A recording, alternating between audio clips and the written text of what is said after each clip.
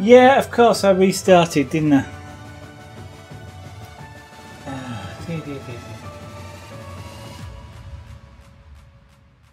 So, what I was saying there was, yes, it ripped. I looked over, saw me, saw, saw a still image of me drinking tea and thought, that's crashed. As the camera, as it does occasionally, and then realised it was the whole of OBS, which I restarted, forgetting at that point it automatically mutes my microphone.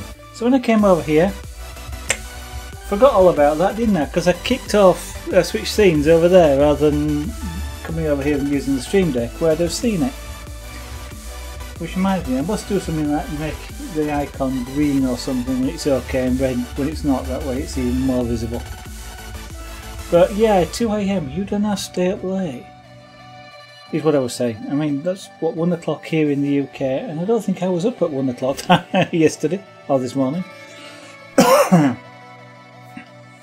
so, yeah. Well, as, I- as I was just mentioning, to a muted microphone, I do sometimes kick off a. Uh, uh, kick off at the odd vodcast sometimes, like with this, just because it gets the chance for people who wouldn't normally be able to see them because of time zones to see some things, and um, then they can follow and come back and catch vodcasts later. You see, you up late night gaming with friends? Yeah, I understand. Um, these days, I'd be alright one night. The next night, I'd be falling asleep, which I was tonight. Earlier on this evening, I was uh, I was trying to watch a video, and I still haven't seen the end of it. And I tried three times to watch the end of that video. So I'm kind of wa- waking up a bit now that I'm streaming. It's the week. Oh, well, that's true. It is, isn't it? Yeah, I'd forgotten that. And by the way, if you hear any bangs, whistles, whines, and all sorts of weird noises, there are fireworks going on outside. And it's quite noisy at times. So if you hear any sort of odd noises like that, most likely it's a firework. On the other hand, if it's accompanied by me running that way, it's probably a fire. right. Now then, down here. More sort of to shade in down here. So, it gets lighter as we go down.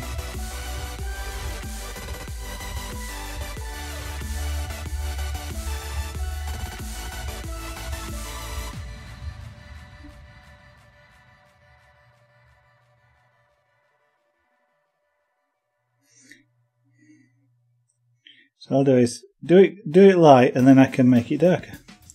Usual sort of thing.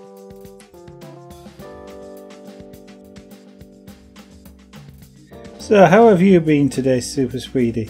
How's uh, world domination going?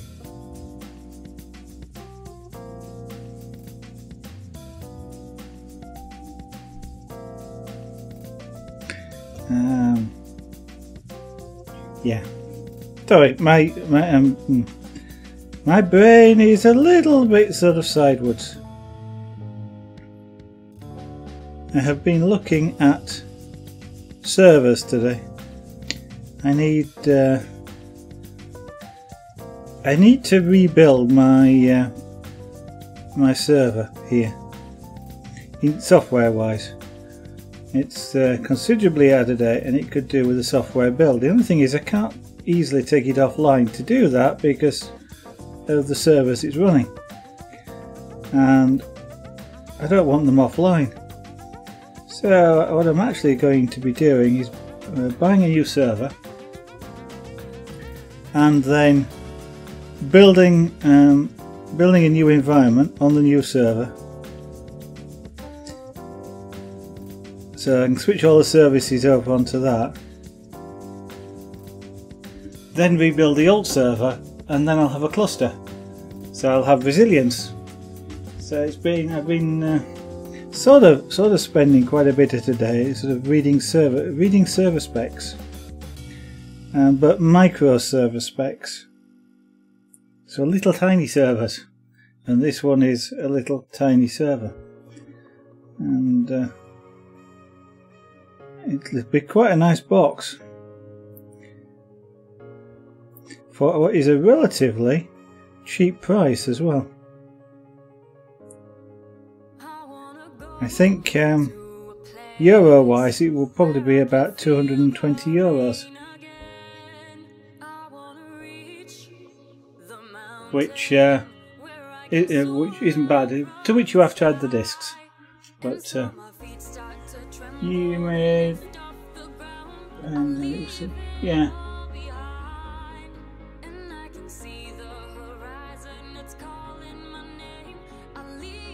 Yeah. oh, that's good. Well, that's fantastic. That's uh, a good thing to happen.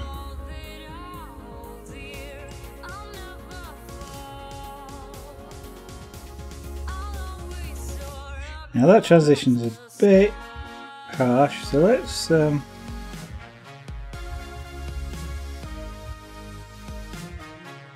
soften it a little bit.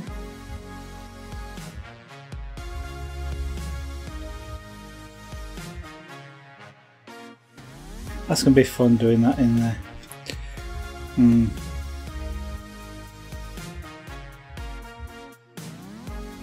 This is where I wish, pyrography wise, there was the equivalent of a mask. I suppose there could be if it was metal-ish, sort of. Where I could, if I was spray painting, I could mask that in various ways, and um, and then just spray happily over the top. But uh, Pyrography is not quite the same. It looks better.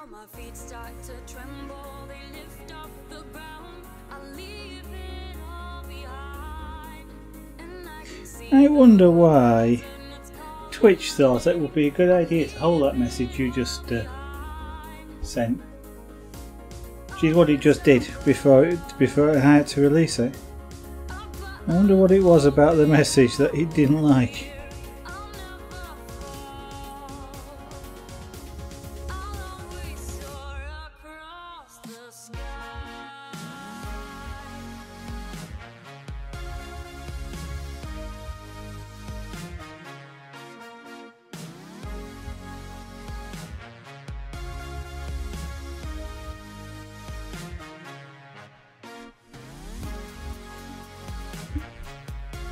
Well, that's going better than I thought it might.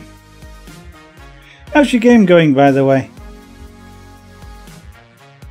Uh, I, or have you been taking some time off from it to uh, uh, to carry on with real life and play other games?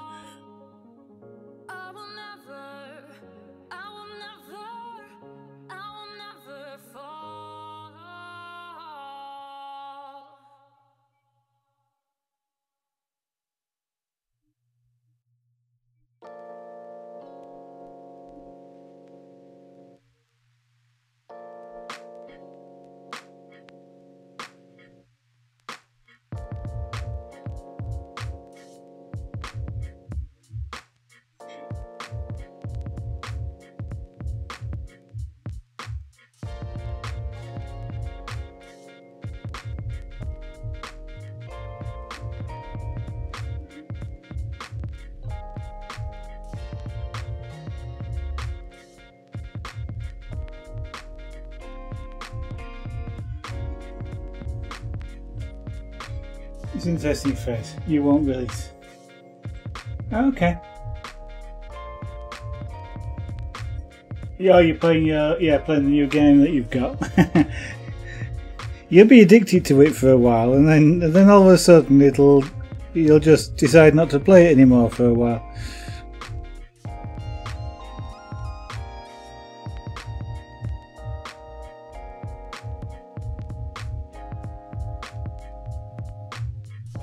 Kind of well. I, am sort of um, projecting there because it's kind of how I often start games. I'll play them not virtually non-stop for quite some time, and then all of a sudden I'll just go, "I'm not playing that today," and I'll I will probably not play it for several months then.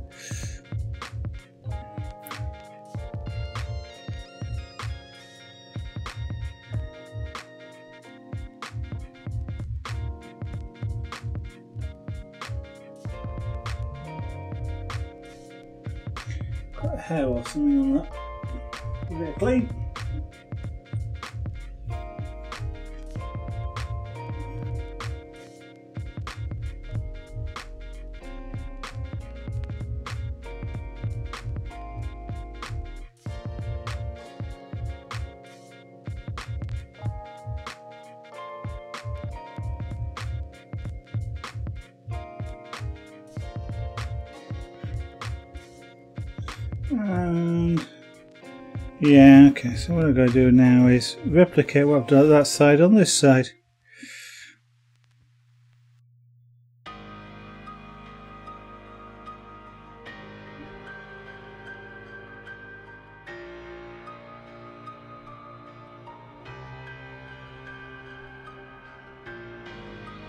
Basically just fade it in.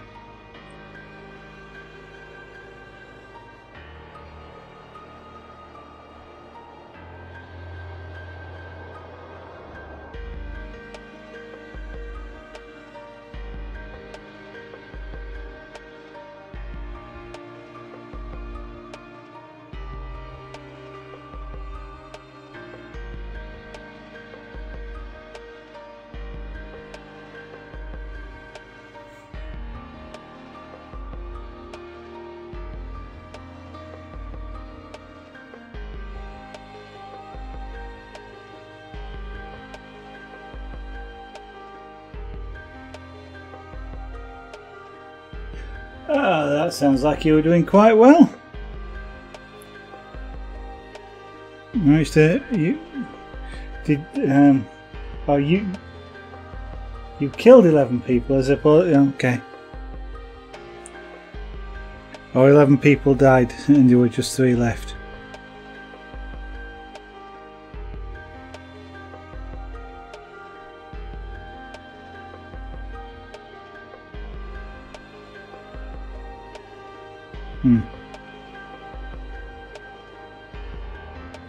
His pen just felt like it was going cold then.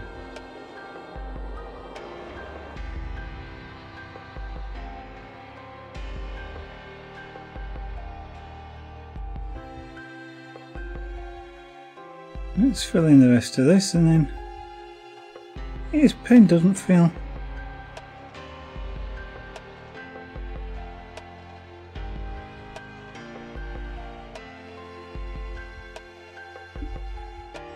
on. It just feels odd. It just doesn't. This pen just sort of feels cold. Didn't seem as though it was um, applying much heat to the wood.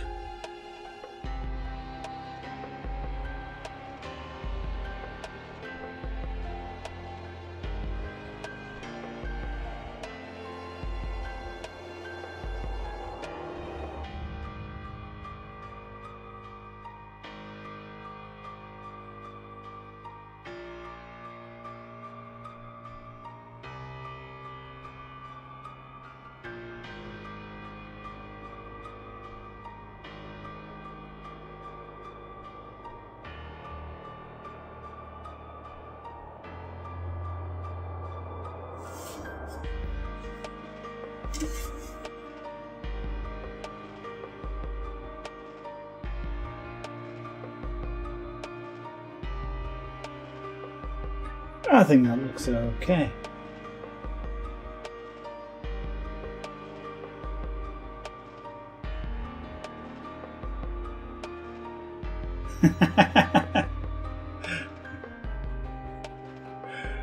uh, you got you, you you got so distracted by playing the game you didn't play the game. Yeah. Okay. Okay. It's kind of funny. is that? right, um, so that's that's come out quite nicely there. I've got a little bit of a little bit of heat bleed over that I didn't see.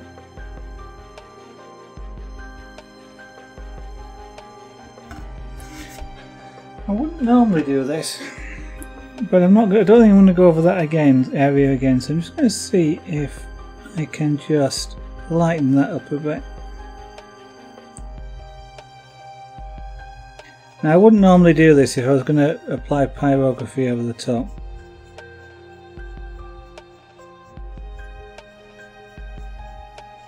But the intent is to leave this uncoloured so I'm just scraping the surface like this is about the only possible way you've got of actually removing pyrography.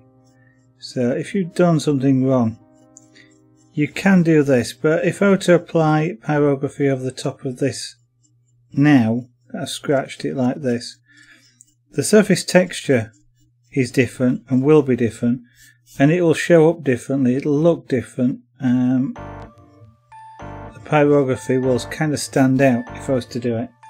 I'm not going to, but because um, I've no need to, I wanted that to be sort of white. Mm, it's not bad. I may do a little bit more later. But that that's kind of the only way you can erase as such is to, to actually sort of smooth the surface off. Uh, and I've actually roughened it and uh, applying pyrography. In such a small area you probably wouldn't notice it, but if I'd done it in somewhere like this uh, and then applied pyrography over the top, you would actually see see it quite clearly. Um, right, so we've done that bit, so let's do the other another hard bit which is is do the same thing as I've done down sort of here up there. Um, and that's all outlined as well so. This isn't as dark which is good. It, makes it means it's going to be a bit easier to do uh, but not that much easier let's turn the heat down to start with and cool the tip off it's one time when I do blow on the tip like that there because I want it to cool off fairly quickly.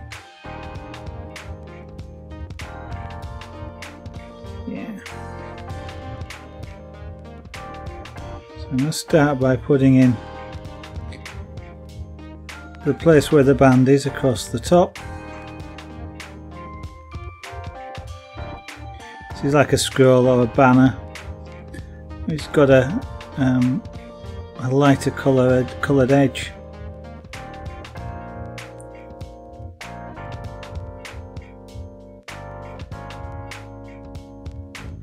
So I'm just putting in where I want it to be.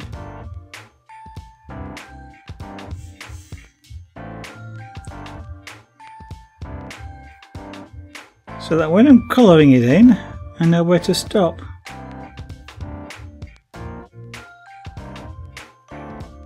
Yeah.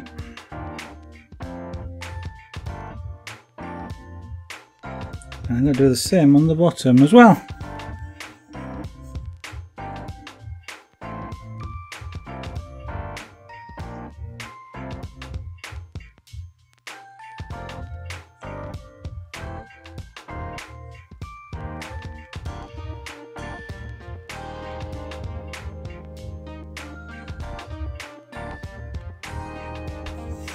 So there's also a band there.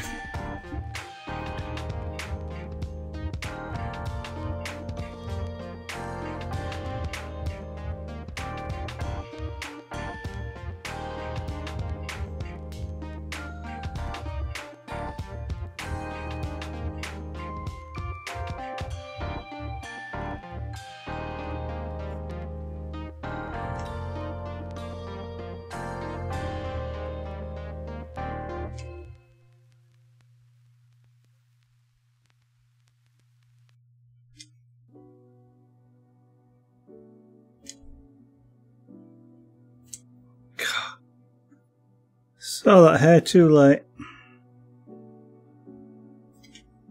If anybody's wondering what I mean by saw that hair too late, if you um, get hair on well a hot soldering iron, a pyrography tool, uh, it cooks really quickly and it smells terrible.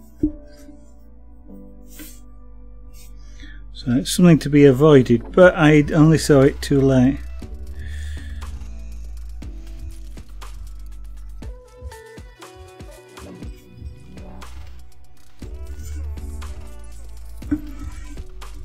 Right. This is a mid sort of colour.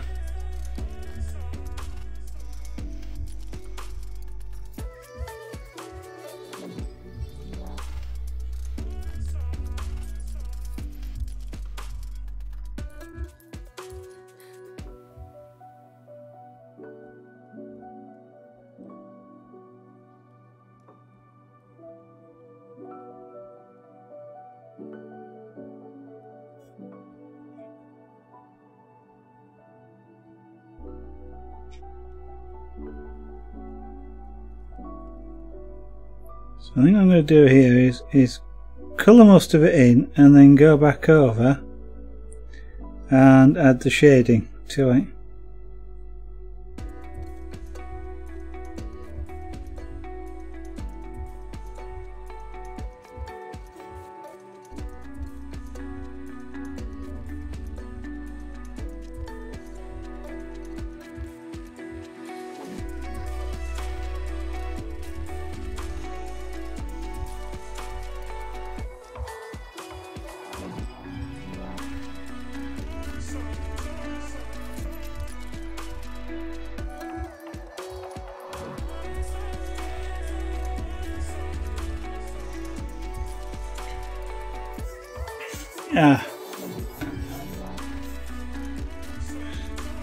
Hold it like this so I can see what I'm doing.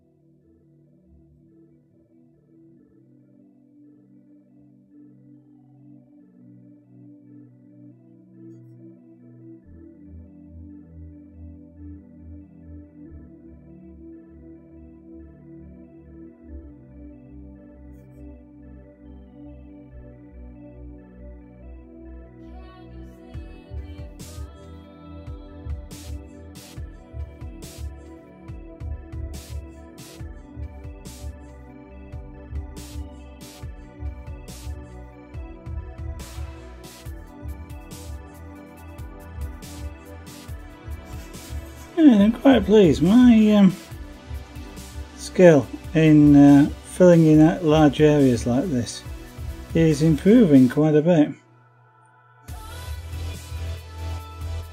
Which I'm quite pleased about.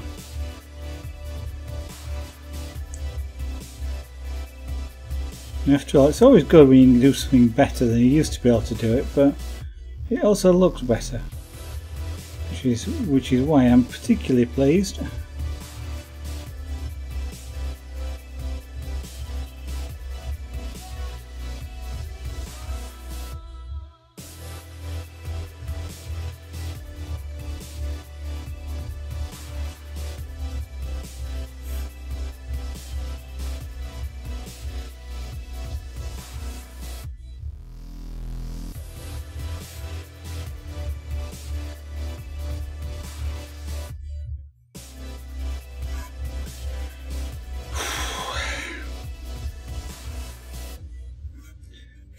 The same thing across the top.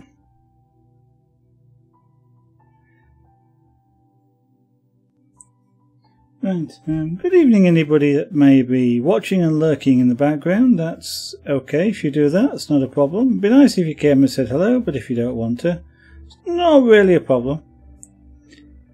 After all, since it's how I often watch a lot of streams, I can't really say to anybody else that they shouldn't do it either, especially in my stream. If you had no clue about what you're uh, watching, and then I'd say to you, why didn't you read the title? Um, this is about pyrography. Pyrography, described as wood burning. And although I'm not um, not burning any wood at all today, and very rarely do I do that, and I'm not attempting pyrography when I do, but uh, pyrography, I also describe it more as cooking with wood. It tends to be more accurate It's a bit like the same process you make toast with, if you're familiar at all with making toast.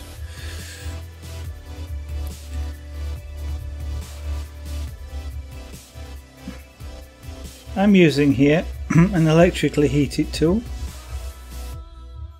which saves me using the old style of stuff that the sailors for example would have used which would be a, a sailmaker needle held over a tiny spirit burner.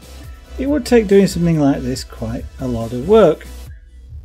So those old pyrography items made by the sailors are quite amazing with the intricacy that some of them have achieved with tools that would have taken them hours and hours to do. Not that this is going to go any quicker though, by the way, because I'm using an electrically heated tool. It still takes hours and hours and hours.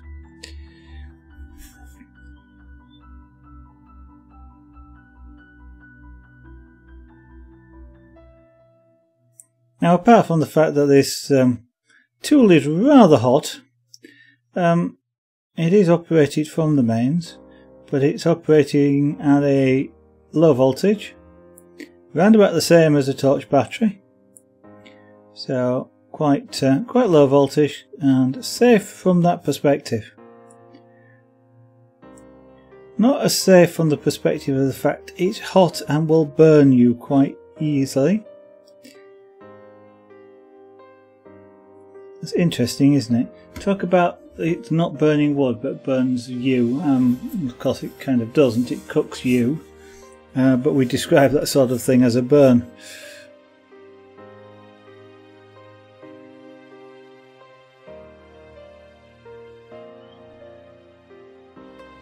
So in other words, this, this tip is safe for me to touch from the voltage point of view. It's not safe for me to touch from the fact that it's hot.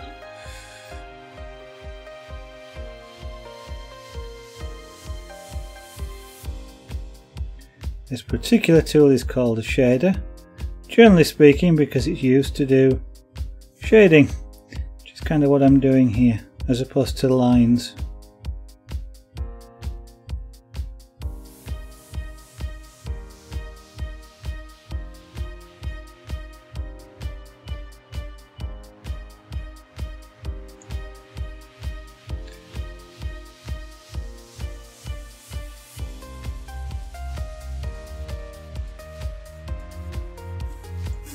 What this is, as is probably a good guess given what uh, uh, the fact that I'm broadcasting in the game uh, channel is, uh, of course, this is a Hearthstone card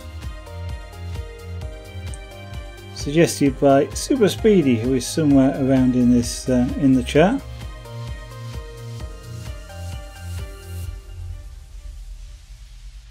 I'm not actually sure whether he suggested I do this because he wanted to see this card done or he thought I couldn't do it.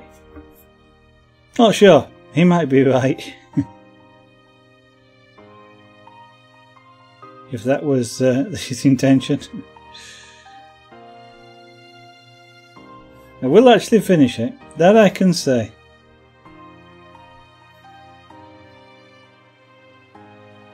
It might not look as good as I want it to do, but I will finish it.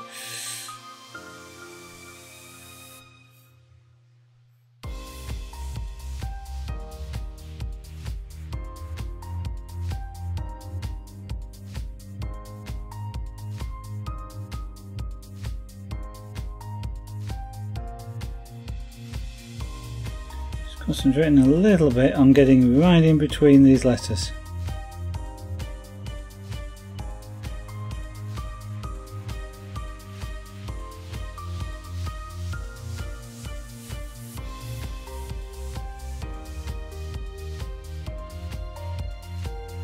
without particularly applying any pyrography to the letters themselves. I'm trying to keep them the natural wood colour. Then, that probably... You're murdering enemies at the moment. That's alright, you carry on murdering enemies. I'm just giving you credit or blaming you for whatever comes out, out of this.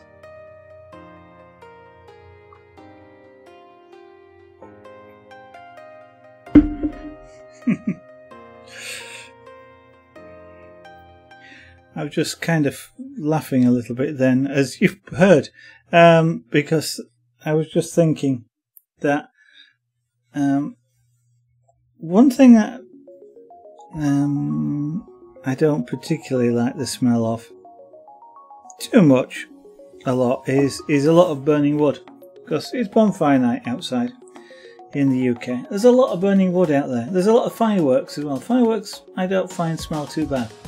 But the burning wood gets a bit acrid after a while and, and starts to bother my eyes. I'm just thinking, I don't like the smell of burning wood. Here I am cooking this stuff. And it doesn't bother me. Kind of weird. Um. Right. Let's make this a bit darker.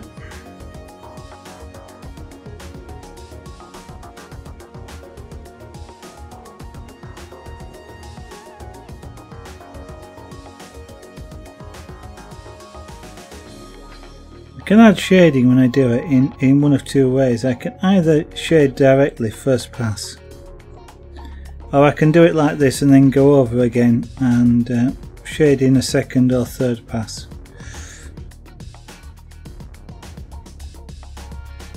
In this particular case we're doing it in the in a subsequent pass. We've gone over it once uh, to put like an, an, undercoat on if you like and then now going back over to uh, apply more shading. Yeah it would be. Um, sorry I'm making a I'm using a reference picture and I make comments about what I'm doing as I'm doing it. So they it would be um, there was a me sort of describing to myself a shadow which is it would be darker there than around this side just because of the way light bends around things. Um,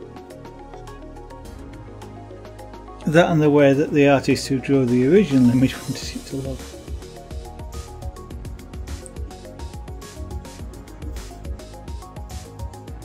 I've just turned the heat up a bit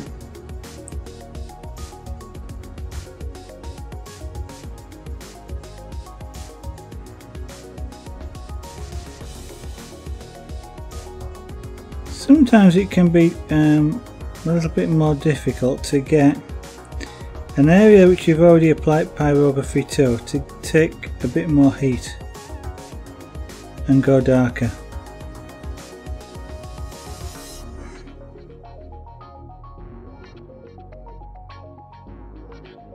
Sometimes the best way of doing that then is to turn the heat up and just um, work a little bit faster.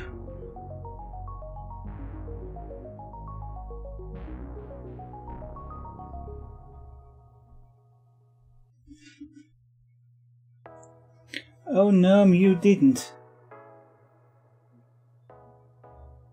You were quite early now. Welcome back. Uh, Clam Chudder. You've never heard of pyro before. Welcome to the stream. And uh, yeah, the science of cooking wood, often known as wood burning. Although, as I often say, I don't burn wood. In fact, um, that would be a very bad thing to do in terms of uh, these images. And uh, yes, nice to see you again. You know, didn't. You. Oh no, you didn't. That's quite hard to say.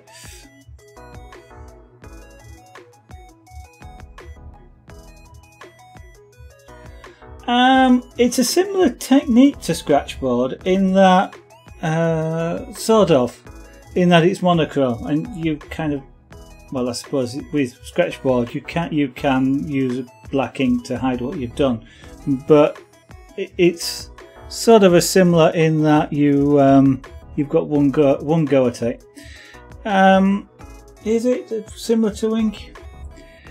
What you can do is with um, probably using more of a pen that looks like this one is turn the heat up on this and then it it it will create really black lines and then you can use that like a black ink pen exactly like you'd use a black ink pen including cross hatching and things like that um, but that's probably about the, the, the most similar similarity you've got with it. I mean, Scratchboard, as I say, um, you can erase what you've done by putting more blank ink down but because you've scraped it you can sort of see where you were if you know what I mean this is sort of a similar I can do but do the opposite I can put um, some colour onto the board like this and I can scrape it and it, the colour goes away but if I put more colour over the top it doesn't look right. Sort of same but inverse. Um, but no this is this is kind of how can I describe it? It's kind of like more using like a felt pen if you like.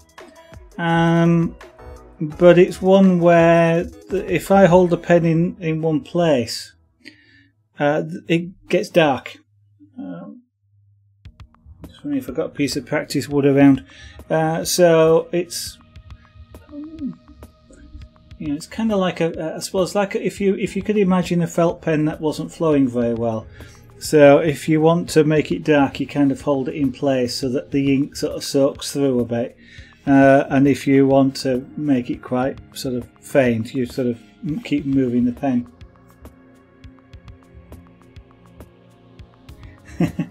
Um, I find well, I find it quite fun, um, especially if you like if you're liking doing things like scraper board or pen and ink. I think you probably once you've developed the skill of using the pen, you'll get on with it because it's the same monochrome style of work. You can do exactly the same style. Um, indeed, I mean I'm using the technique I'm using here. I describe as photorealistic. It's not like a photograph, but it's it, it's like a photograph in that you don't have uh, sort of black lines around everything like you would do like in a cartoon. Um, but uh, certainly, you know, with um, Sorry, I'm not sure. I am sure. Thank you very much. Um, if you wanted to do it using just the uh, just the, the pen style of pen, you can do exactly the same as you would do with scraper board, cross hatching um, and uh, using fine lines and thick lines in order to sort of create a, um, a shading effect. The other thing um, about trying it is you've got uh, uh, there are different tools that you can use to try um, pyrography with. And potentially you, you might have the odd one. If you've got any interest in doing electronics you've probably got a soldering iron you can use a soldering iron to do this, although I'd use a tip specifically for it. Uh, I wouldn't use the tip that you use for soldering, and I wouldn't use the tip that you use for pyrography soldering because it will be contaminated. But um, you can use a use a, uh, soldering iron tip. So if you already have a soldering iron, that's a quick way of trying it out. Uh, the sort of tool I'm using here and the machine that I'm using, which looks like that there. Uh, tippy double slip a little bit. This one's called Razortip.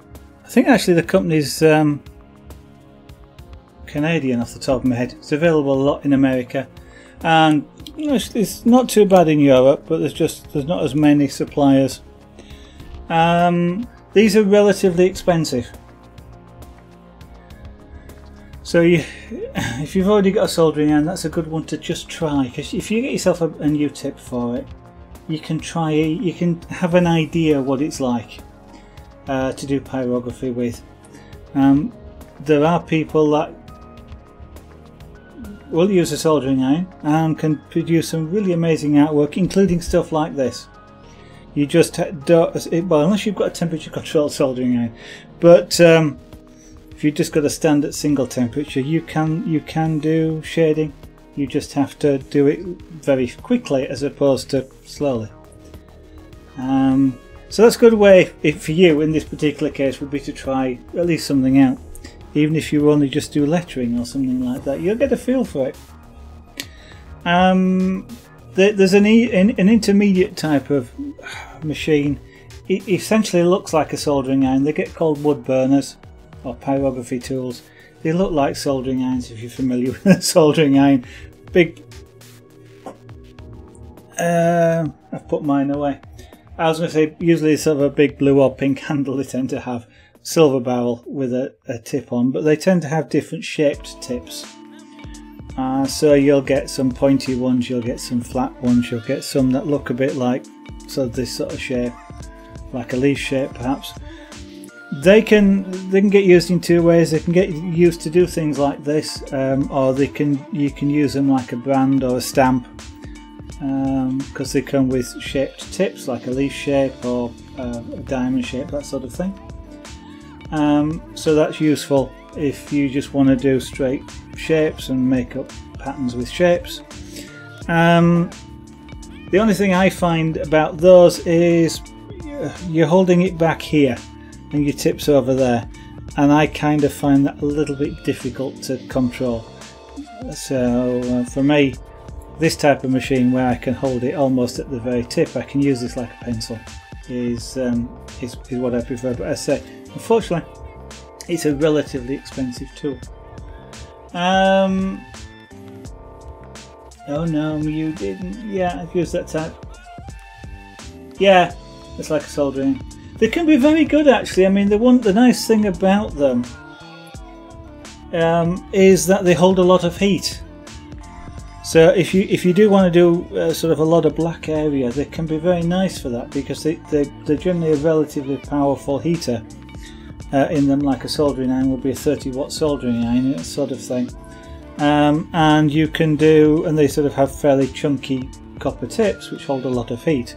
And you can sort of do something like that in one pass fairly quickly, uh, which with this sort of tool is, is a lot slower. This is about 10 10 or 15 watts of heat but this is heated directly on the tool at the end and yeah that's that's kind of why I don't like those because of course it is hard to get that sort of detail they do come with some nice points um, but because of it, I, I, suppose it's really more like anything else isn't it? it's practice as to but it's a bit of an awkward thing to hold and and work with for me there are people and if you look on um, YouTube, you can find people that do some amazing artwork with stuff like that.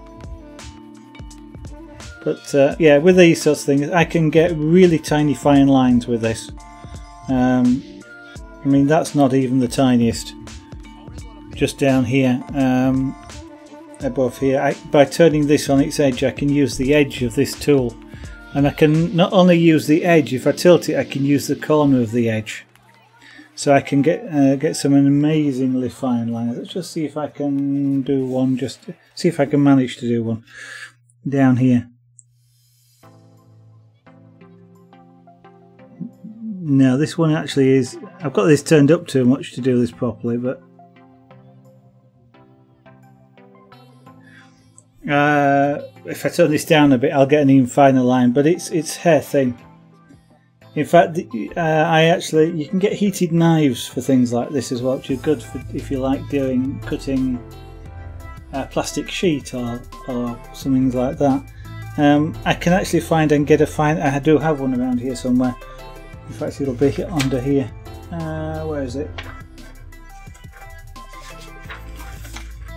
That the one? Yeah. You can get like this. They're, they're a little tiny blade. Uh, but I can actually get finer lines with this than I can with that, even when that's using it on the cutting edge. Because this kind of sinks too far into the wood and the heat spreads. But it's uh, it's a nice tool. I mean that's um, that's the other advantage about this tool. If I want to change pens, he says take that off the end of there because this is hot. Take that off there that's now a working tool, and that end is hot, so I'm not going to touch it. um, yep, yep. Too much, you see. Um, it's, it's created a wider line, so that's hot. So I shall just unplug that and plug my other one back in.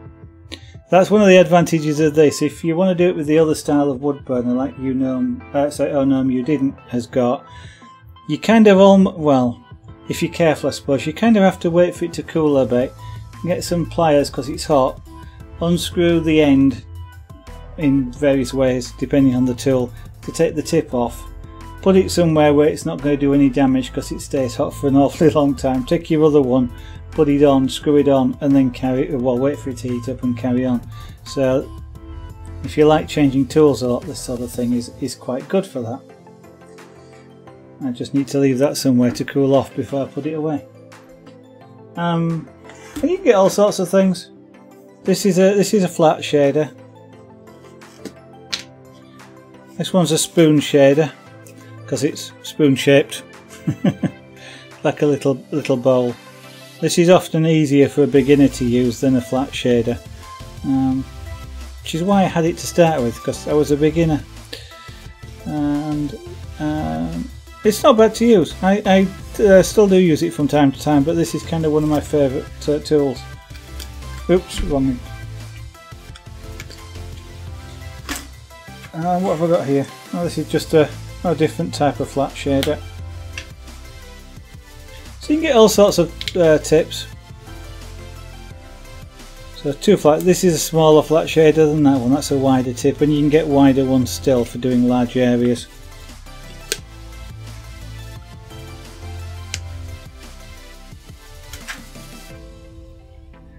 Let me move that out of the way so I don't accidentally um, melt it. So I was shading in on here. Yeah, so it, mm, it gets described as wood burning, but as hopefully you can see, I'm not doing any burning at all. uh, it is actually rather like cooking. If you've ever made toast, it's a, it's, it's a similar thing to making toast in that um, you apply heat and as the toast dries out and uh, the surface goes brown. This is kind of what's exactly is what's happening here. And they, uh, just like with toast, if you apply a lot of heat, uh, it will go really brown to the point of going black and starting to give off vapour. And wood's exactly the same.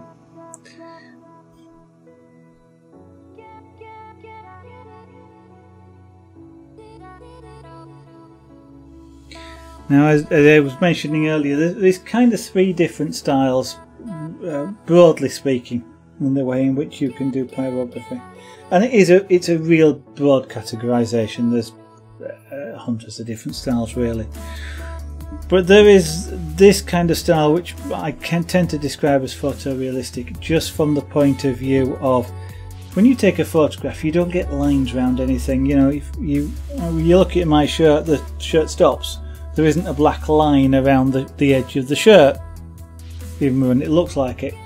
Um, so yeah, it's just colour. Colour comes and it changes colour. So that's what I mean by photorealistic. Um, there's then you take that to a more cartoon style where you get a black outline and then you colour colour in. That sort of thing you often see that a lot in pyrography, but it will it tends to be um, trying to think of it it's of a, of a good analogy for it but uh, what you tend to see then is more um, uh, it, it's it's moving more towards a straight black and white type of thing.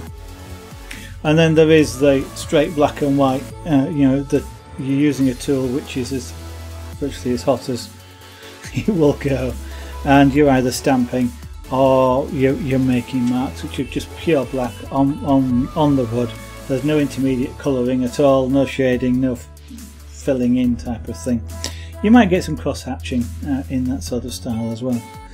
All of them do make really nice pictures. It just depends on what you prefer. Stylized stylized realism. Yeah okay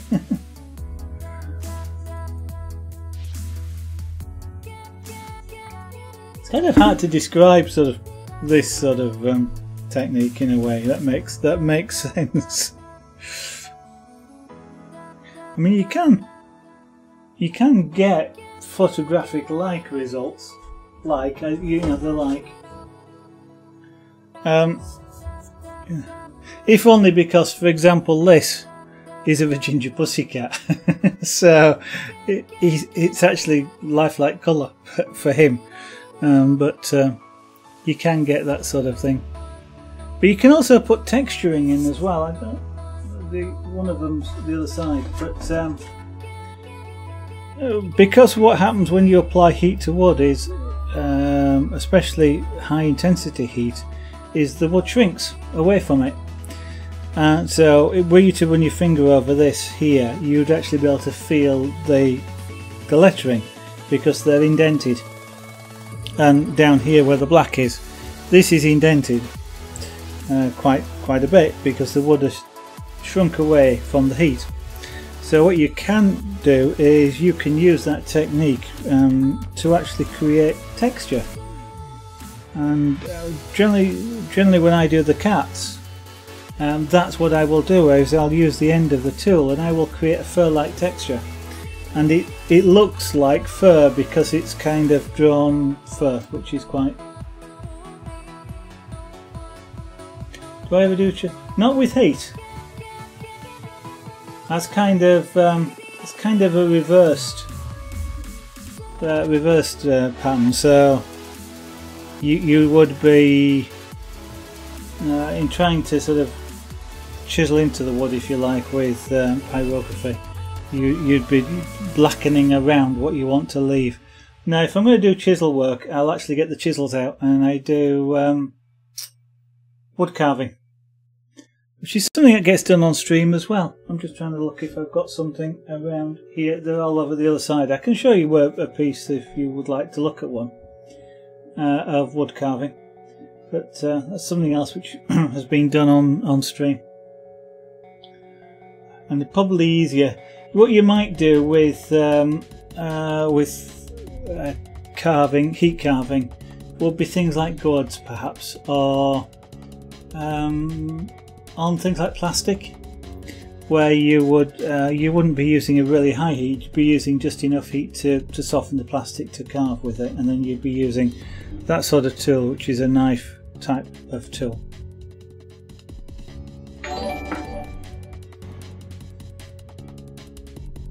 clam chowder. Uh, clam chowder. Apologies clam chowder. Thank you very much for the follow. I, I'm looking over there and it's on the screen in front of me. Okay.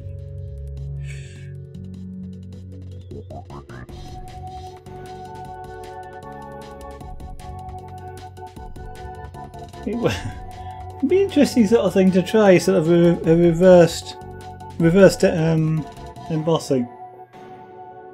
Emboss the emboss the stuff you don't want to be there. Hmm. I'm let me uh, let me just get the other uh, piece. Getting famous again. Thank you, Super Speedy.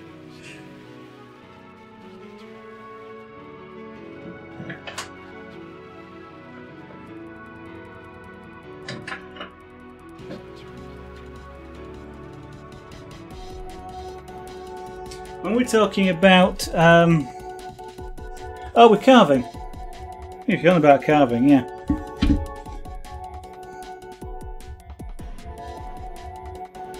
That's the last thing that was done on, on stream.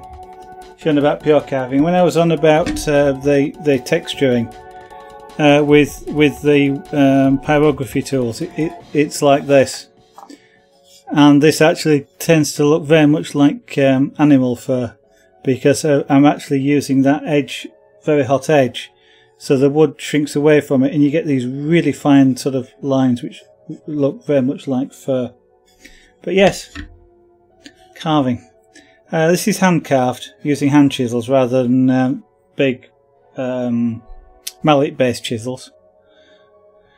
I also do rotary carving as well. So we, but I have not done any of that on stream as yet. It's a bit of a messy thing to do with rotary carving and uh, I tend to need to set up an extractor and things like that. But uh, yeah, this this is this is a it's a dragon, fairly obviously, I guess, but it's called it's a dragon called Ruth. This took uh, well a lot of hours, in excess of sixty hours to do, and I only know that because I'm currently uploading. The this was done on stream, one hundred percent done on stream. And I know it's more than 60 hours because I've currently just uploaded video 31 uh, of me carving this to YouTube. It's there's, so there's a, re, uh, a real time 31 two hour long, at least two hour long videos of uh, of me carving this, and it's not complete yet, so I don't actually know how many there are. So if you if you want to see some carving, um, before I get round to doing it again on stream, if you look at uh, youtube.com slash art, there is a whole um, a whole 60 odd hours so far of me carving Ruth here. Put that to one side. And do some more what the stream is about, which is pyrography.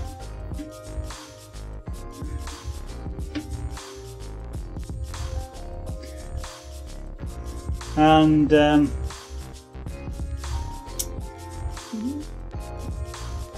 yeah, the scraper. I, yeah, I do do scraper board. I've done that on stream as well, uh, and there is uh, some images will pop up in the reel here from time to time. Um, but again, again, I think I've I think I've put at least one scraper board up on on the YouTube. Uh, I tried out Scraperboard for the first time on stream and didn't, and the first image I did was a portrait. So uh, I don't know where John is. Is he over here? Yeah, I'll tell you what, this is starting to become an art show, so I might stop in a second and actually carry on with what I'm doing.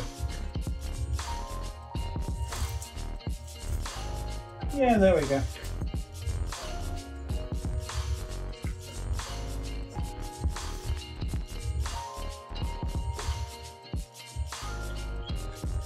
A little bit of a show for Scraperboard, as you're familiar with Scraperboard. That's my very, very first Scraperboard image ever. Done live on stream. That's of a mu musician called John Miles. And he's actually one of the lead producers arrangers of the um, Night of the Proms. He's also, well, when she was uh, touring, Tina Turner's um, lead guitarist and um, band leader, manager. I think what we did then, oh, th there had to be what there had to be that image. Now that was the second one. We had to do that. Earthrise. This um, board it just suits space images so well. And then, then we thought, oh, then I tried a bit of colour. So I don't know if you if you were aware, uh, Clam Chudder, but you can you can put ink onto scraper board, and it's amazing what difference it makes. Just that green there changed that image completely. When we did it, I say we, that was the stream, of course, because I was done on stream and, and everybody was watching. But we uh, did the cottage uh, and the grass and then put the green on the grass. And the difference it made is phenomenal. It just makes it completely stand out. Uh, it's ink. Literally green, it, it's ink. Uh, is that. Quite a quite a saturated ink, but it's it is just it is just ink.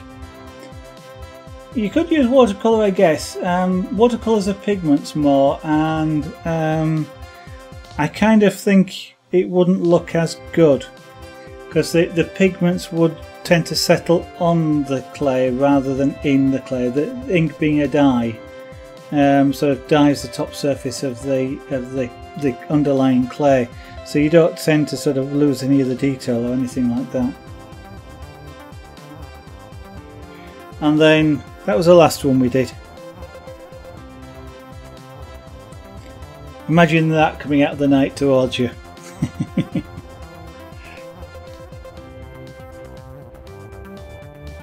Again, it's yeah the the the um, the scraper board is great for doing sort of night images, night images, space images. Fantastic because of the really black background colour. But uh, I must get these varnished um, because I have to be very careful not to scrape them.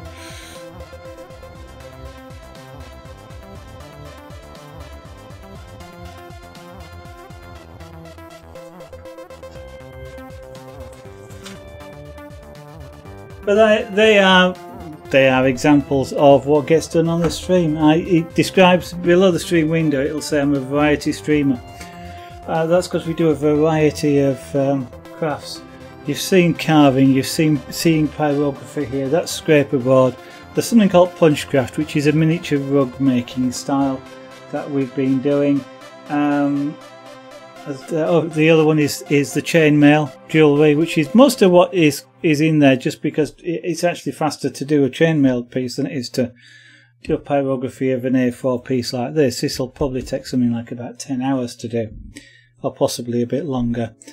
Um, Whereas a uh, you know most a, cha- a chainmail bracelet, for example, is sort of one to two hours depending on complexity, uh, or several hours when it's something like this one, uh, which took uh, took quite a few hours to do.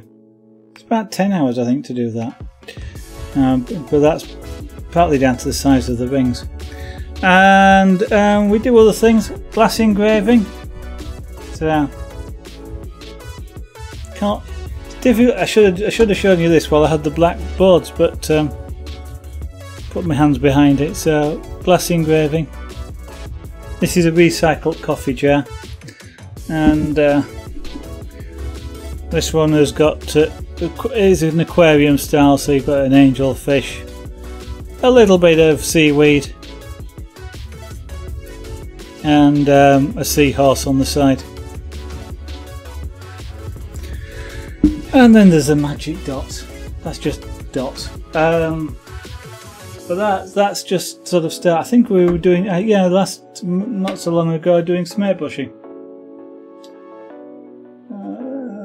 So some some airbrushing and then uh, uh, on black papers. I was, I was working white on black uh, and also preparing some vases for painting at some point. So these were these were sprayed, ready to have something uh, painted on them. At some point, when I decide something something Greek probably or Mediterranean.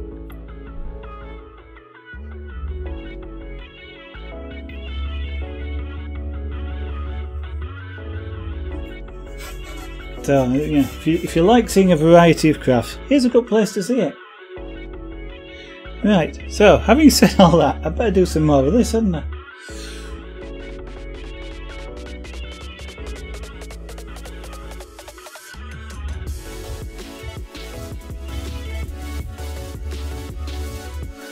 because I have a tendency to to stop stop doing what I'm doing when I start talking.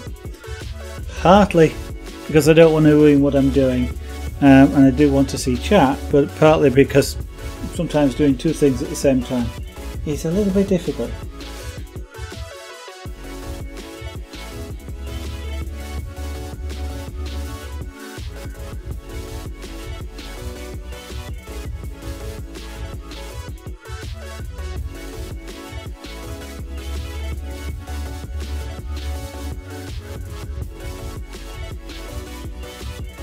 Is proving to be quite good fun because a lot of the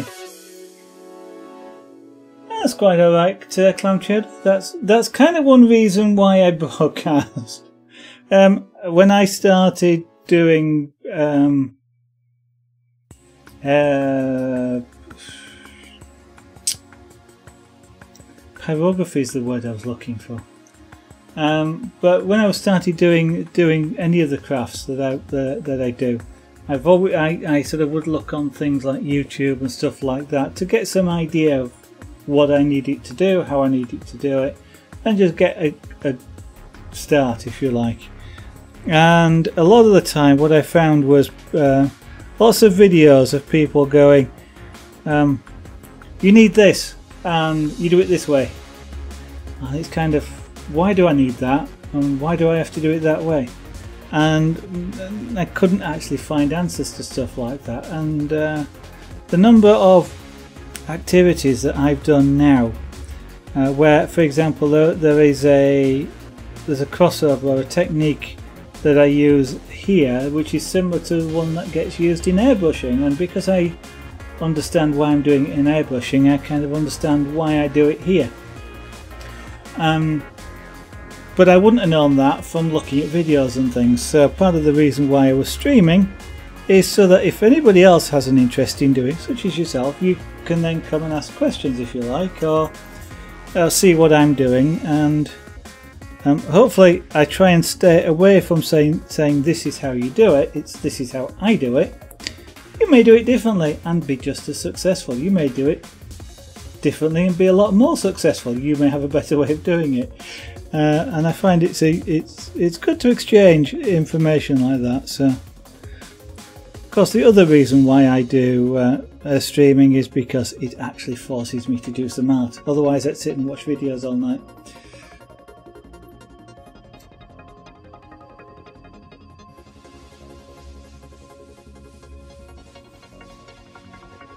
So I'm just shading this in. I find it easier actually to do um, things like portraits or the cat portraits than something something like this, just because on a portrait, no, even two places that are side by side don't have the same colours, variations all over the place. Whereas with something like this, sort of, even though it's meant to be like a cloth, for example, um, the artist that drew the original picture for the card is a sort of it's a fairly consistent colour. It's a lot harder to do consistency with pyrography, but I'm learning. It's kind of one reason why I never do the same, or try never to do the same thing twice. Although sometimes I do just because I enjoy the image, but uh, and I try something new in the way I'm doing it. Like when I uh, showed Theo there, um, the ginger kitten um, I showed you the two black, uh, showed you one of the two black cats that I'd done, uh, where I'd used the fur technique that I, I developed.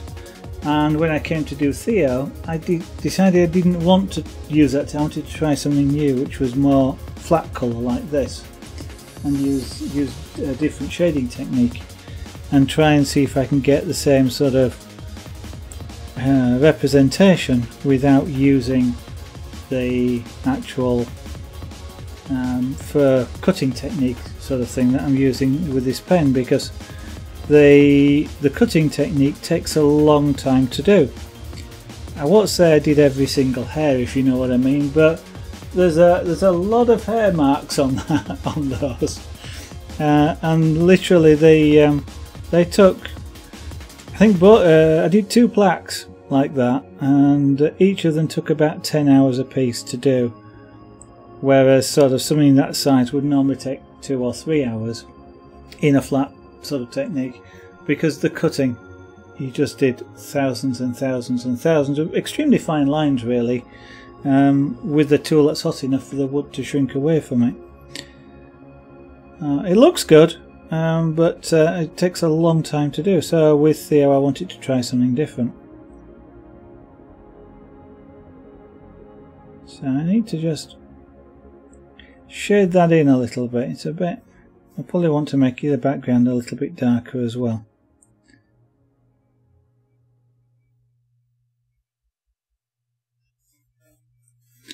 Right, so yeah, I'm going to go all the way across the top here, sort of.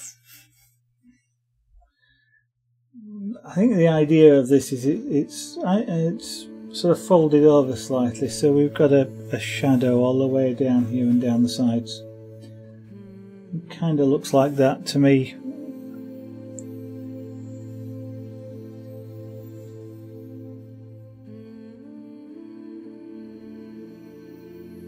So apply a bit more heat with this I think. So this um, this particular machine that I'm using is it's about to say temperature controlled it's not uh, I can turn up the heat so I can I can make the uh, this tip hotter or cooler within a range which allows me um,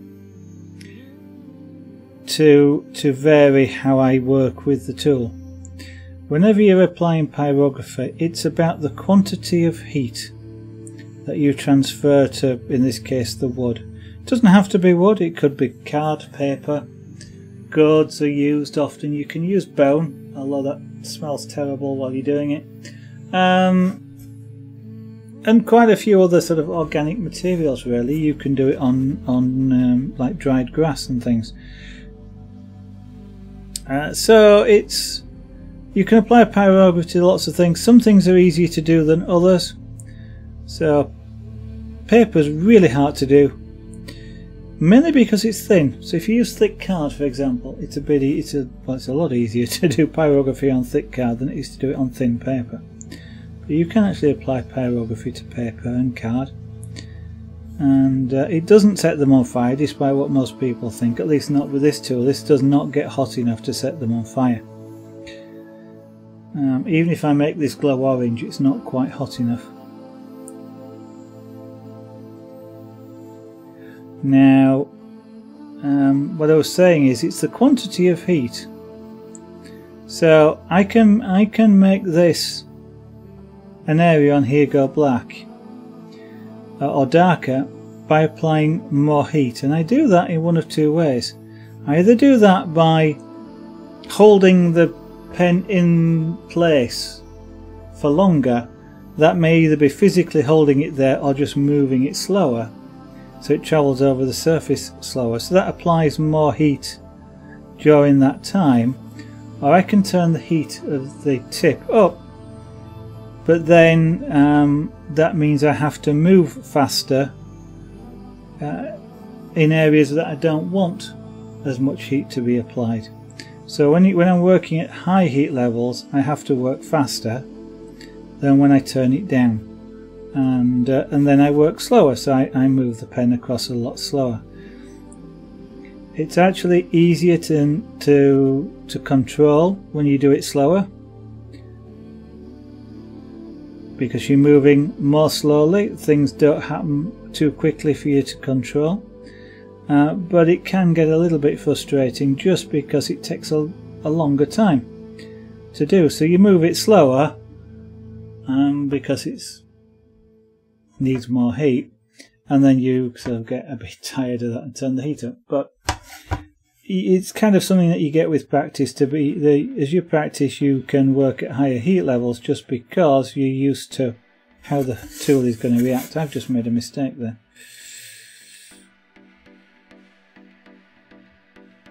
I've gone over the edge but luckily I think there's probably a black area around there so um, that will sort of get hidden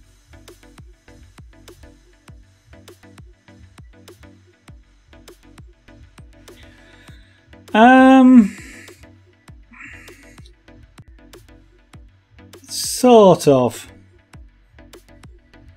Sort of. Um, if you do it, if you do it, if you apply low heat for longer, it, it, it cooks the wood slower and the wood actually tends to shrink away less. If you apply uh, high heat really quickly, you tend to get uh, the wood sort of just immediately sort of vanishing away from the uh, from the tip. The other thing about it is with fairly high heat the wood sort of goes a bit uh, like uh, clay or plasticine. It gets really soft and you can move it around. So uh, if you apply it, if you press down with the tool you can actually get tool marks in the wood and uh, you have to sort of if you're applying high heat you've either got to sort of just be really light in your touch if you don't want sort of lots of marks or uh, sort of I keep going over and ironing it down. Um, if you apply heat uh, less quickly if you, you know, hold it move it slower it doesn't get that plastic as well it doesn't get as much that sort of plastic effect and it's a lot easier to have a smoother surface afterwards than you do um, using high heaters. And that's that's an effect which you notice more on the finer tipped tools like this and this. Because uh, if I put this at high heat it almost disappears into the wood. You almost can't stop it. It's it's kind of like put it, holding it on the surface of water it just sinks in. Whereas this kind of floats a little bit just because of the width of the tool um, I prefer to do it slowly if I can. Um, you get a lot like here. You get uh, this was done in about four or five passes, um, but you get a, a, lot sort of smoother looking um, colouring than you do at uh, things. If you look at this lettering, for example, if you, I don't know if it can be seen, but it's a little bit sort of. I can see it certainly here. It kind of gives the impression of being made with lots of little dots. It hasn't. I, I did sort of. I was using the other tool at relatively high heat, but it's really hard to to keep it level. So it sort of as you know, as it's just got variations in height as I've gone drawing the letter. And when I'm looking at it here, I can see those sort of dot-like effects. Whereas using the bigger tool on things like this, there is sort of a an embossing sort of look to it, but it's a heck of a lot smoother. But otherwise, the other thing that you can get uh, very easily, the higher heat you get, you get to a stage where you uh, the wood gives off a heck of a lot of vapour. It's, it's, possibly where people get the term wood burning from, but it um, it gives off a heck of a lot of vapour and goes black. It carbonises doesn't exactly burn, but it sort of carbonizes, sort of same endpoint almost. And um, that in itself has a dullish sort of odd looking texture. It doesn't look very good. And if you if you end up with it, uh, it tends to stick to the tools as well.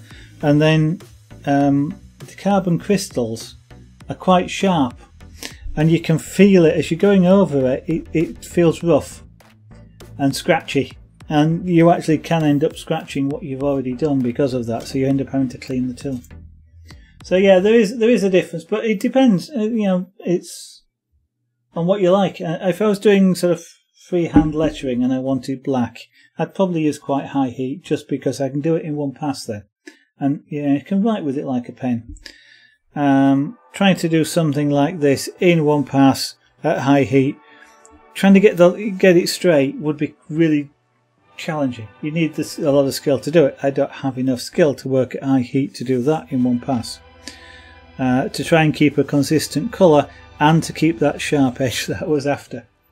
So it, it's sort of um, skill, practice, and uh, skill, practice, technique, and just what you feel like.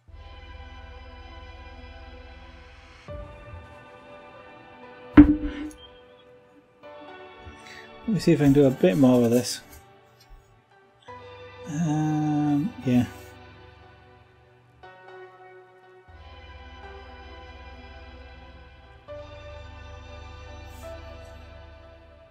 I have a tendency to want to work fast just because I'm used to using a pencil. Um, but uh, I'm, I'm great.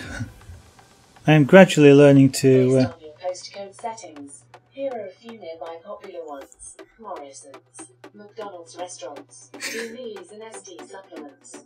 To get more accurate results, go to the Alexa app and enter your address. So how about that? Quite why she perked up and told me about restaurants, I am not sure. I have no idea what I said that sounded like her name. He says, avoiding it so she doesn't wake up again and sounded like I was asking about food. And it's also weird because she knows what my address is. Um, yeah, I tend to want I tend to want to work fast, but I'm, I am learning to slow down and uh, just have a little bit more patience with it.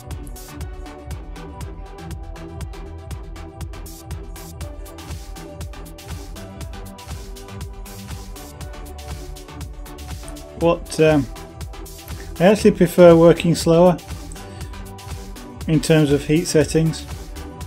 It, it, it, it, does make it easier to control how dark you want something like this. I'm fading this out.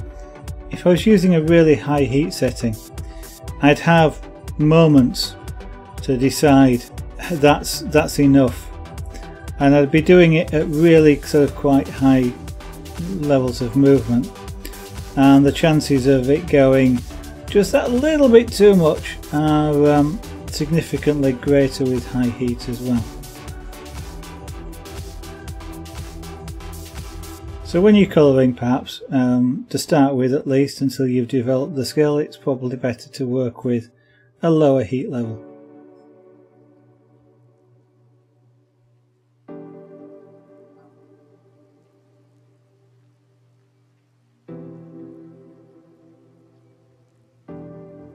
Think I'm going to have to start muting her when I start a stream.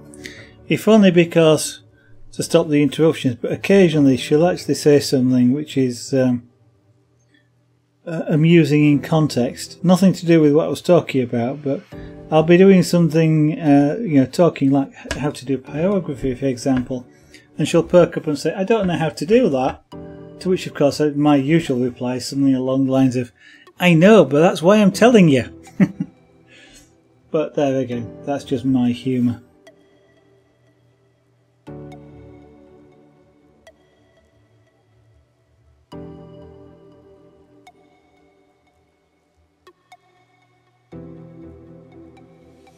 Now, uh, I guess if um, talking about pyrography, what I like to do is say a little bit about wood.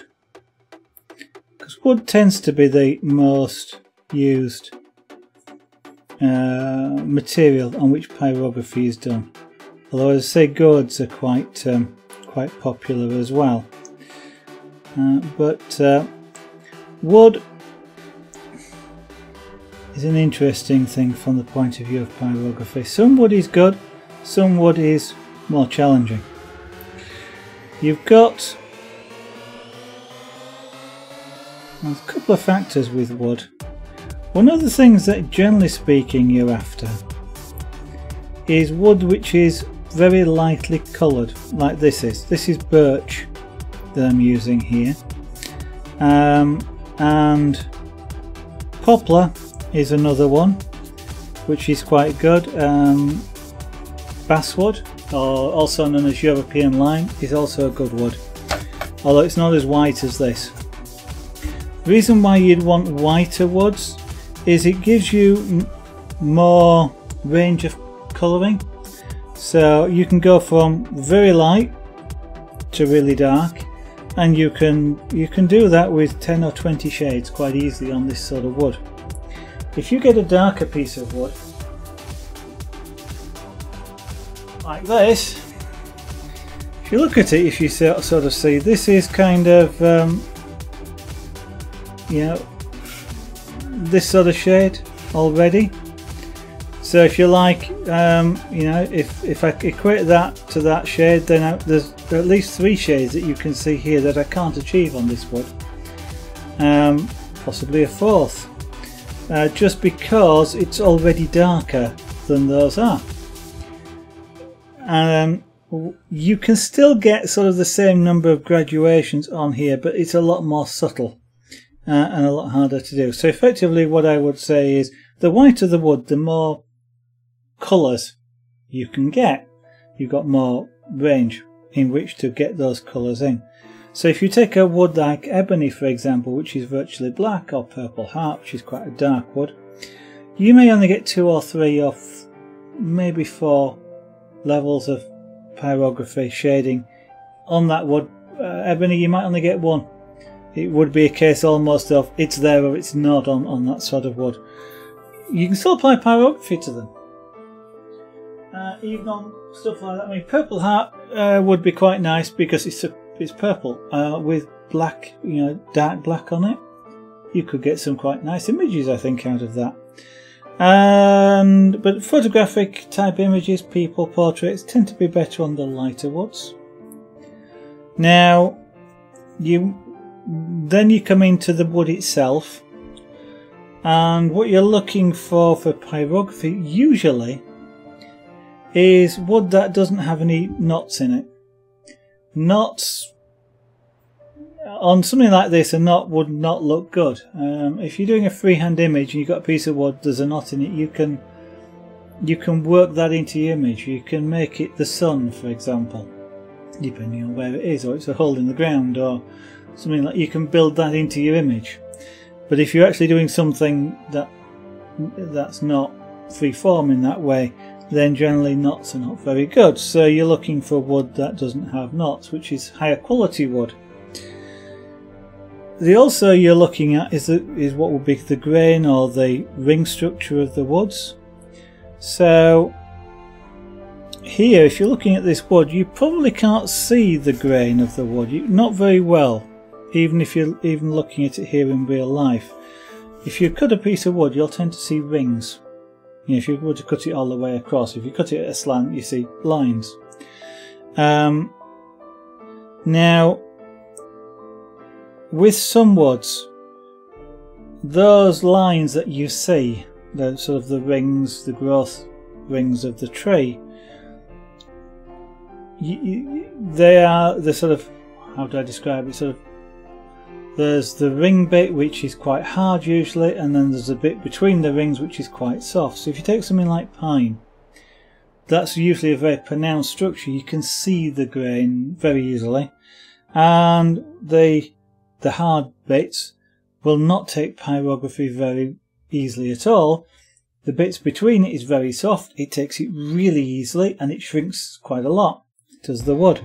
So you end up with a very textured surface and if you were trying to do a smooth area like this you'd end up with sort of dark bands with light bands in between and it's really hard work to get them the same colour. Something like birch, poplar, basswood, they're um, the, the structure of the wood there is quite fine. There is next to no difference between the, the ring bit and the bit between.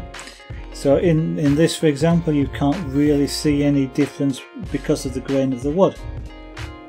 So you tend to look for those types of woods that have that you know, I guess if you look at a piece of wood and you can't see the, the grain very well or it's even, fairly even, that's probably a good wood to do pyrography with.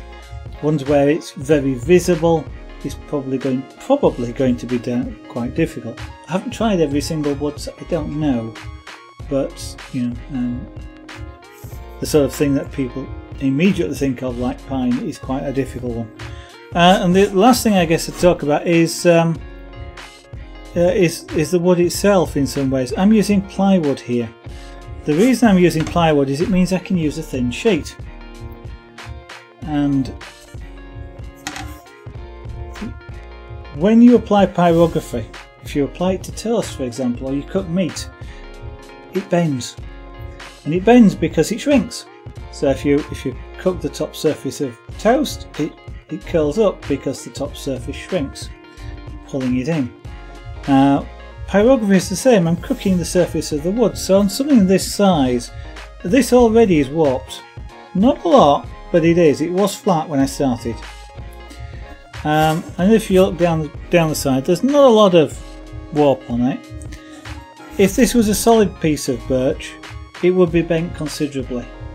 The plywood, the way in which plywood is made with the cross, uh, uh, it's made by crossing the alternate layers um, at angles to each other.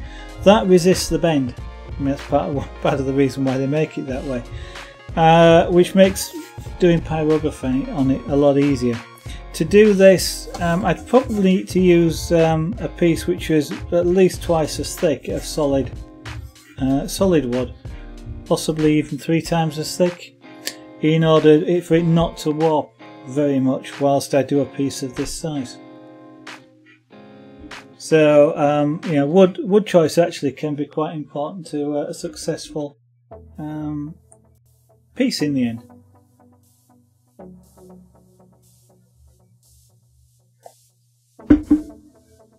Plus the other reason why I use plywood or is it's easier to hang and it's cheaper than thick pieces of wood. Um, but getting a hold of good quality plywood, it's not the sort of plywood that you generally get in a home centre, a, a, a DIY shop, that sort of thing. Um, they tend to be um, pine faced, and pine is not a good wood to work with. Uh, birch is, um, but um, and certainly construction plywood is it's it's even worse quality. Plywood actually has a quality indicator, uh, which starts at I think double A or triple A for the best surface, down to E, I think it is. Um, and the A's tend to be knot free surfaces, and triple A's is is to better better quality than than just knot free. Um, and birch plywood tends to be single-sided. This is this is twin-sided, but it tends to be single-sided often. So you need to know which side it is. and each side has, has a grading so um, you can be A and B on one side and A on the other and things like that I mean this has got a knot in it so that wouldn't be an A graded piece of wood something like that I'd do that maybe as the sun with an image here like a beach for example so you could build that in, into your image um, that side's actually lighter than that one but um, I didn't want to use the knot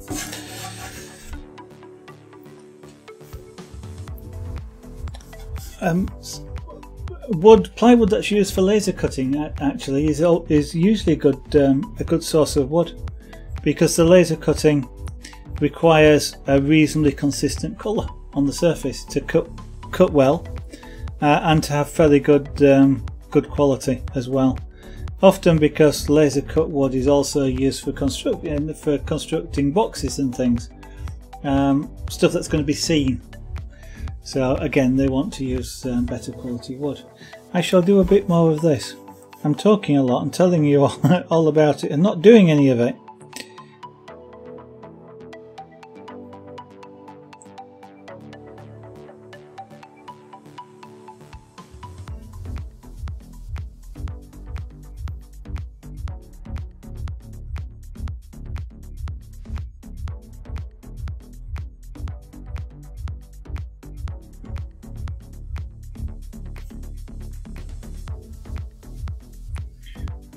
So at this at this particular stage on this bit here, you're probably you the changes are going to be relatively subtle to what you're watching because they won't be. Uh, I'm not suddenly wanting to make some areas of it really dark all of a sudden. I'm kind of just filling in the bits that didn't quite colour and I'm just making this area a little bit darker than the rest of it almost as though it's like a shadow but the the what I'm doing is I'm doing it sort of fairly gradually because I don't want a sudden dark edge. What I want is kind of it to fade between the this and that so you don't almost don't notice that it's changed changed colour.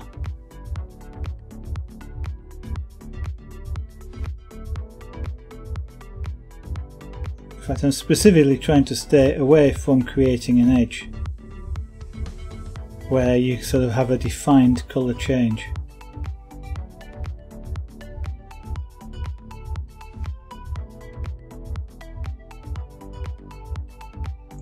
Now in the darker areas I actually have to apply the, the amount of heat isn't quite proportional. So it's it's not kind of like twice as dark is twice the amount of heat. It's more like twice as dark is three times the amount of heat. Um, and that's not a that's not a hard and fast rule or anything like that. That's just sort of that's what it seems like. Uh, as I'm doing this if I want to sort of make an area uh, quite a bit darker I'm not I'm sort of feeling like I've got to slow right down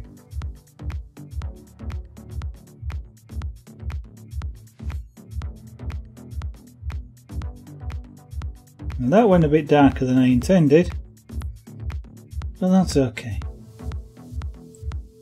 As Bob Ross would say, it's a happy accident. um, I just incorporate it into the image most of, most of the time. Yeah, it might be in this case it's it's a it's like a cloth banner, so it's just a, sort of a, a slight fold in the paper or the banner.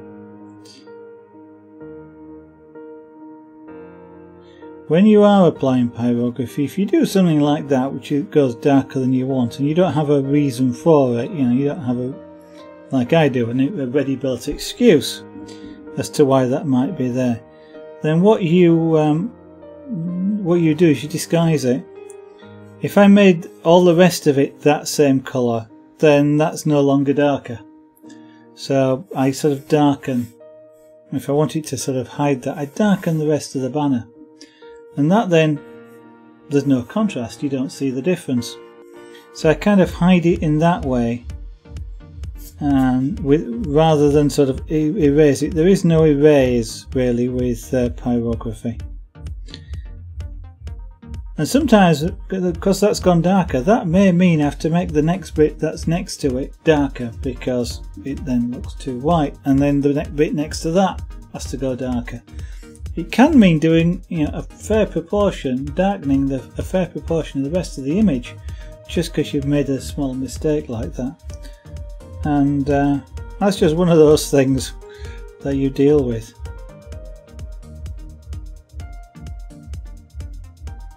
Mean, I can treat a little bit here with the, with the banner. As I say, it's it's cloth, it's slightly folded and what have you, so it doesn't really make that much difference.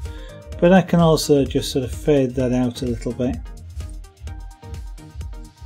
uh, across there, um, so I don't get so, such a uh, if I if I make the edge more blurred it doesn't draw your eye quite so much and you don't see it quite as dark. So there, there's all sorts of tricks that you it plays with your eyes sometimes in terms of so things like you, this this lettering that's here probably looks white to you. Almost certainly I suspect it looks white to you. It kind of looks white to me on the monitor. And uh, it's not. It's the colour of this wood here, fact it's slightly darker than the colour of this wood here. And yet um, it looks white because it's got the black outline and it's got this darker edge around it. And it's a, it's a weird sort of thing how your, your eye, oh, well eye, eyes and uh, brain I guess come um, together will sort of fool you into seeing things that actually aren't there, like the colour white for example. Or if um, I, I was doing an eye, for example, you tend to, tend to see a colour green. Or, or occasionally yellow, uh, depending if I make it light enough. And uh, it's just your eye sort of expecting to see a colour difference that isn't there. And it sort of injects one of its own accord. So there's all sorts of interesting things you see sometimes with uh, pyrographic images in, in what people can see in them. it's a little bit light is this um, down here across the bottom so I'm just going to uh, cook it a little bit longer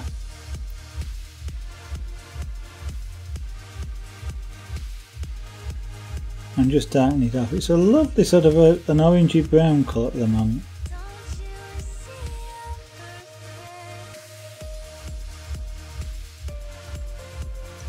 Often the details of um, an image like this where I'm just adjusting the, the colours slightly and the shading slightly which take the longest to do.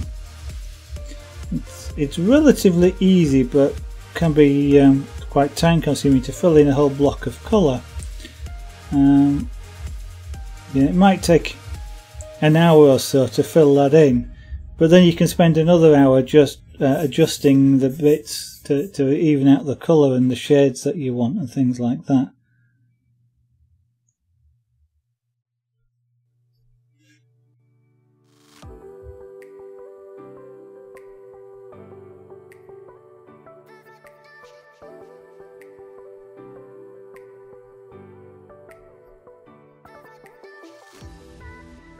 I don't play any at all, Clam Chowder. Super Speedy there, uh, I believe, does. He's um, he's a um, hmm. what's the what's the word describe? He's quite an experienced player, I think, from from his descriptions.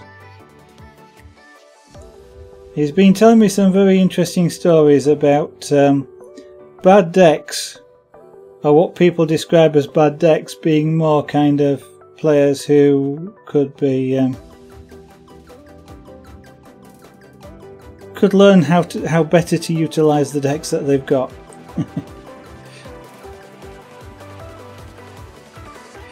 and yes, it is super. Uh, lurking is quite good fun sometimes. Why am I doing this? No, it's not a commission. This one isn't. Um, quite happy to do them, but this one isn't. This is um, this was uh, super speedy there again. Uh, at the beginning, uh, end of last week, I just finished doing something. He says I've just finished off some. Oh yeah, I just finished. Um, I just finished off this uh, this bracelet, and um, that I, that I'd done in chainmail and I was going to do some pyrography, but I just couldn't think of. There are times when inspiration just skips out the window, and I just could not think of an image to do. And so I was I was doing something else. I was doing some magic dots, uh, and uh, explaining this, and, and Super Speedy there was talking about Hearthstone, and um, and I was thinking about doing some, um, as he says, I was thinking about maybe doing cards or a character from one of the popular games. You know, I don't know, something from uh, uh, Destiny 2 or something like that. Maybe, maybe the I, I call it a bit, but whatever that little floating thing is, the ghost. And um, Super Speedy there suggested uh, doing a Hearthstone kit. Yeah, why not? Sounds like a good idea. It's a good fit to an A4 piece of uh, uh, wood. And um, he gave me the suggestion of this particular card. So I'm, it's, I'm doing it for the fun of it, really. Although I suspect when I finished it, I'll probably put it up in the shop. Um, but uh, we'll see. I don't know. I, sometimes I keep the pieces that I do, and sometimes I, I don't. Well, that's very kind of you to say. That probably means I'm fin late finishing the stream, but thank you very much. She actually said it's 9:24 p.m., which is actually true, and it's about time that I brought the stream to a close for tonight. Um, it then lets me get uh, have a little bit of time before I go to bed to do one or two other things, like upload even more YouTube videos. I that's good timing there, wasn't it? Um, I'm gradually, for those of you that may be watching, if I'm gradually uploading my whole Twitch archive of broadcasts onto YouTube. That's over 700 hours of broadcasting, three quarters of a terabyte of video, and something like about 400 individual video files gradually being uploaded. So if you would like to see any of the old videos, the old broadcasts, then uh, the, the, take a look at uh, youtube.com slash Good night, Clem Shudder. That's uh, Great to have you around. Thanks. Drop by again if uh, you'd like to see some more. We'll be doing some more of this tomorrow night. We'll be doing more of this until I finish it, uh, however long it takes. Um, the other things that are on the bottom right, of course, are the the two usual social media channels. Twitter's quite good. I do tweet when I'm going live, and if I can't go live, it's a good source of knowing if I'm going to be around. And uh, odd things about new crafts or new projects that I start, that sort of thing. Or when I get new rings delivered through the post, I sometimes will like that. I'll sometimes tweet. These are um, chainmail rings, uh, niobium, because I keep forgetting the metal. It's written on the other side, and uh, nice sort of chameleonish sort of colour. Is that? It's a blue purple. Um, so, good place to keep up to date with what's going on. Uh, Facebook there as well. And of course, I've mentioned it the uh, the Etsy shop, zaragonart.etsy.com. It's the jewellery at the moment, mostly. But I will, at some point, probably will still go on to there. But some of the other pieces, uh, pyrography pieces that aren't personal to me, uh, will go up there as well. I think I've got some Hy- uh, Hyrulean symbol and that sort of thing on the box. And finally, I'm just going to mention the two buttons at the top right of the screen. The follow button, if you would care to follow, like Clam Chudder did earlier on this evening. Thank you very much again if you're still around for the follow. Uh, that way, of course, you'll get to be notified. I'll appear on your favourites page and on the who's broadcasting. And also the subscription uh, button that's up there as well. Subscriptions go towards assisting the stream to keep streaming in terms of buying things like wood, which isn't unfortunately very cheap. It grows, it is trees, it doesn't grow on trees. um, and good trees are expensive. And uh, any other things like new pens for uh, for pyrography and things like that. So with that, um, if you'd like to see me again tomorrow, I should be streaming somewhere between 1900 hours and 2000 hours GMT. The start time unfortunately uh, varies depending on work commitments and things like that when I've got home from work, when I've had a meal, but between that sort of range I should be live. Then going on for approximately two hours to around 9 9.30pm at night. With that I'll hope to see you on the stream tomorrow, if not in the future. Bye for now.